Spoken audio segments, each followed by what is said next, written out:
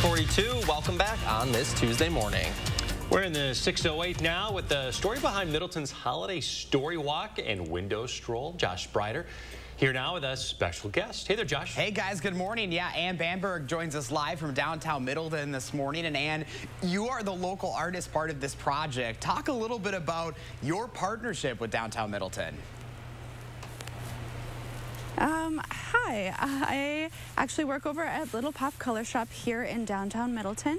And so I had done some windows for us, and the DMBA had invited me to be part of this project uh, back in June. We've been planning for, for a long time now. So, talk a little bit about your work, because this is something that's pretty special and seen all over downtown right now.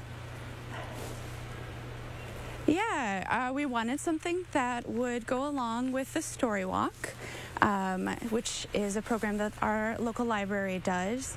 Um, and so we thought we should do something that was a winter theme so we can have all of these designs that will go through the end of January here uh, once the story walk is over. Um, and so we decided to go with Jan Brett's The Mitten. It's one of my favorite childhood classics, so um, I was just very honored to do my own take on her. She just has the most spectacular work. So yeah, and your work is quite to be able to beautiful there as well. You know, how much time went into creating a masterpiece like that? um, each window is different. Um, so this one that we're looking at here, this reindeer at Tradition, took us uh, about a day and a half to complete. So when you are working on this, you know, be able to have your work out in the community, how special is that for you when you are in downtown all the time?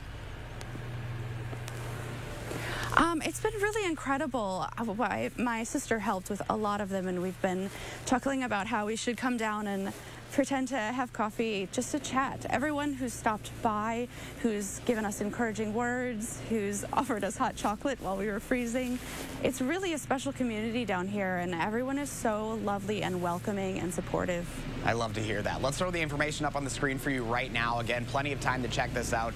The Holiday Story Walk and Window Stroll goes until the end of this month.